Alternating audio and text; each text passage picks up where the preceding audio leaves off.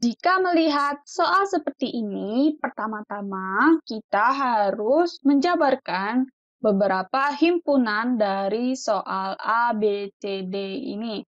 Yang A sudah diketahui himpunannya yaitu 1, 2, 3, dan 4. Kemudian yang B ini adalah X jika dan hanya jika X bilangan caca kurang dari 10.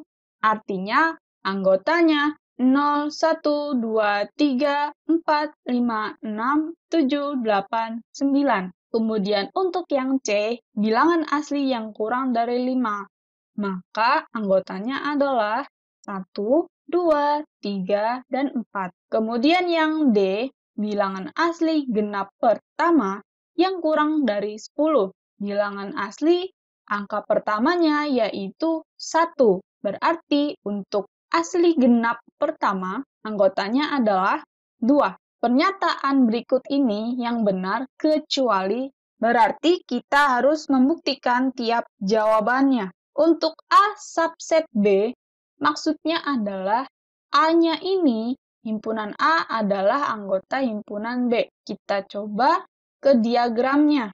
Maksudnya seperti ini. Jadi, si A ini miliknya si B. Coba kita lihat.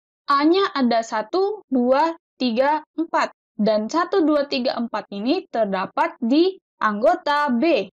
Maka yang A adalah benar. Lalu untuk C sama dengan A, berarti himpunan C sama dengan himpunan A. Kita lihat A-nya 1, 2, 3, 4, C-nya 1, 2, 3, 4. Benar ya, karena sama. Kemudian untuk D subset A, yaitu D elemen A. Himpunan D milik himpunan A. Himpunan D terdapat pada himpunan A. Maka diagramnya seperti ini juga. D-nya ada di A. D-nya apa? 2. A-nya 1, 2, 3, 4. Maka benar. Karena sudah ada tiga yang benar, jadi yang salah pasti yang ini.